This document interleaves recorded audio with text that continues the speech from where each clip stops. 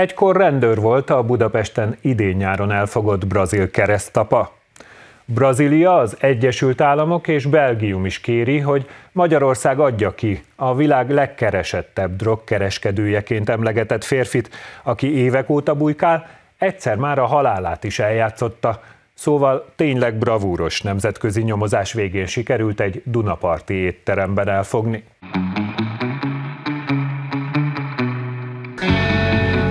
Itt jön két spanyol ügyvéd, utánuk egy brazil. A többiek már odabent vannak, közöttük magyar ügyvédek is. A fővárosi törvényszéken egy nemzetközi jogász csapat készülődik egy nem mindennapi tárgyalásra. Nyolc ügyvéd egyetlen embert fog védeni, egy 64 éves brazil férfit. Ott fog látszani a vádlott, meg ott. A vádlott nincs a teremben. Biztonsági okokból nem hagyhatja el a börtönt, ezért táv meghallgatással kapcsolták. A terheltet nemzetközi kábítószerkereskedelem, bűnszervezet, csempészet, pénzmosás, okirathamisítás és emberölés bűncselekménye miatt büntető eh, eljárás lefolytatása véget keresi a brazil bíróság, és a kiszabható maximális büntetési tétel 30 év. Akiről szó van, ő a világ egyik legkeresettebb drogbárója. Most éppen egy magyar börtönben csücsül. Igen, itt van Magyarországon. Budapesten fogták el idén június 21-én. A Nemzeti Nyomozó Iroda a terror elhárítási központtal közösen Budapesten elfogta a világ egyik legkeresettebb drogkereskedőjét.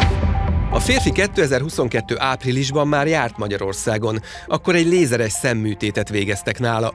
Kontrollra jött vissza, amikor június végén elfogták. Több évi bujkálás alatt ö, tudomásunk szerint több mint tíz álnevet és ugyanennyi hamis iratot használt fel. Elfogásakor egy 54 éves mexikói férfi nevére kiállított hamis útlevéllel igazolta magát. Tagadásban van, azt mondja, hogy ő nem az a személy, akit az Interpol köröz, annak ellenére, hogy az únyomott szakértő egyértelműen megállapította a személyazonosságát. O brasileiro apontado. Ele que se dá. Está capturado na... Az elfogás híre bejárta a nemzetközi sajtót. Ma már nem kétséges, hogy ő az, akit a félvilág keresett.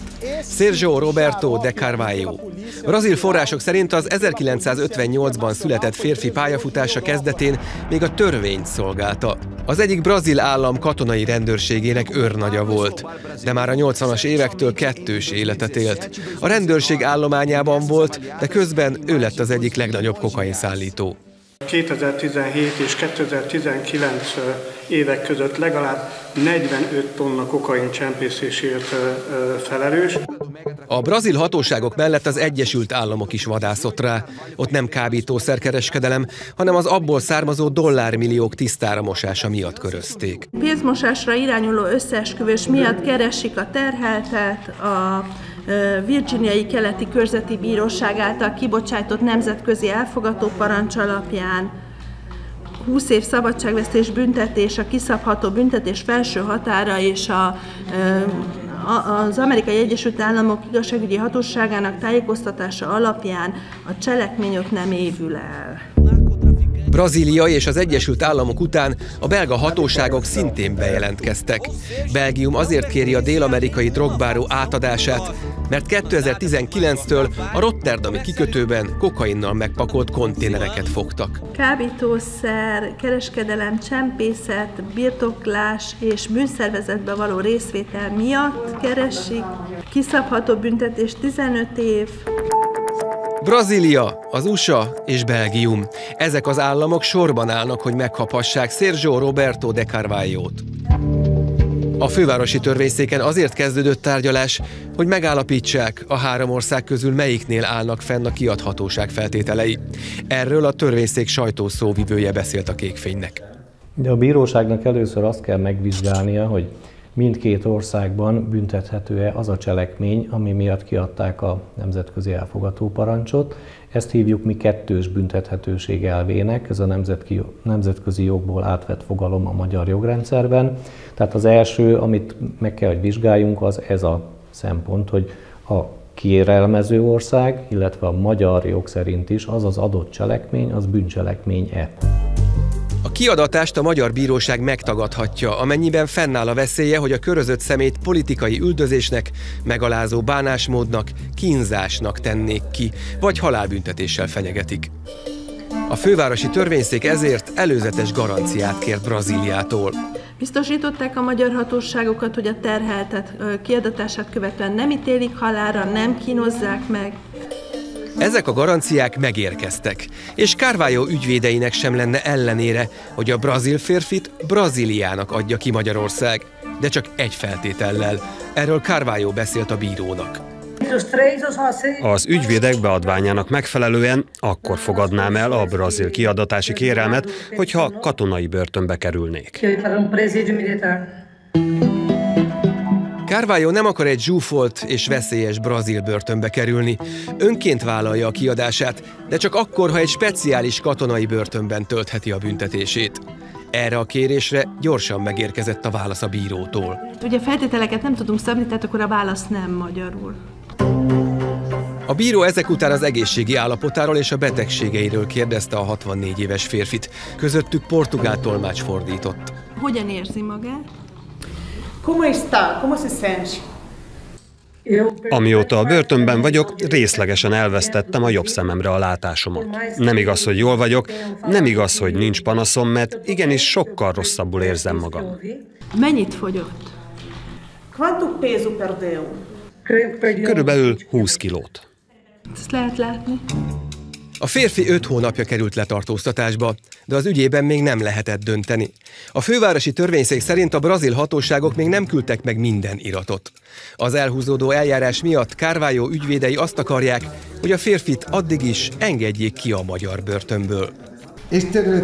Az első következménye ennek a késedelemnek az lesz, hogy könnyíteni kell Carvalho úr helyzetén.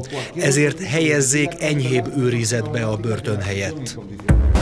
Ez a taktika egyszer már bevált. Carvalho korábban Dél-Spanyolországban élt, Paul Wouter álnéven, de elfogták és letartóztatták. Ügyvédei azonban óvadék fejében kihozták. Aztán a brazil drogbáró 2020-ban egy márbejai orvos közreműködésével megrendezte a saját halálát, mintha Covid-fertőzés vitte volna el. Így a halottnak vélt férfi ellen a spanyol hatóságok megszüntették az eljárást. Carvalho pedig felszívódott. Most azonban lebukott, és itt csücsül egy magyar börtönben. Ügyvédei megint azt szeretnék, hogy kiengedjék, de a bíró ezt elutasította. 2022. június 23. napjától idéglenes kiadatási letartóztatásban lévő terhelt védőinek az enyhébb kényszerintézkedés elrendelésére irányuló indítványát is elutasítja. A döntést azzal indokolta, hogy az öt évnél súlyosabban büntetendő ügyekben a törvény kizárja az enyhébb fogvatartást. Márpedig Carvalho Brazíliában 30 év, az USA-ban 20 év, Belgiumban 15 év börtön fenyegeti. Szóval nem jöhet ki, akkor sem, ha az eljárás elhúzódik. Csak hogy sürget az idő. Carvalho 5 hónapja van bent, de a hatodik hónapban lejár a kiadatási letartóztatás. Ez a határidő egyszer hat hónappal meghosszabbítható, tehát összességében egy évig lehet valaki ideiglenes átadási letartóztatásban. Egyelőre a fővárosi törvényszék még további iratokra és nyilatkozatokra vár Brazíliából és Belgiumból.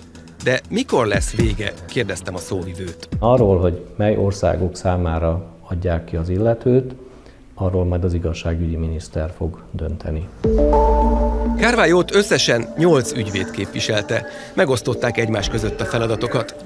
Volt, aki az eljárás megszüntetését akarta. Egy másik ügyvéd azt, hogy a brazil drogbárót engedjék ki. Arra is volt javaslat, hogy rendeljenek ki orvos szakértőt a 64 éves férfinek. Egy másik indítványban pedig azt akarták, hogy adják ki a drogkereskedő lefoglalt mobiltelefonjait. A bíró ezeket az indítványokat elutasította. Azt nem tudni, hogy mikor lesz a következő tárgyalás, mert olyan sok az ügyvéd, és annyira szétszórtan élnek a világban, hogy nehéz lesz időpontot találni, amelyik mindenkinek alkalmas lehet.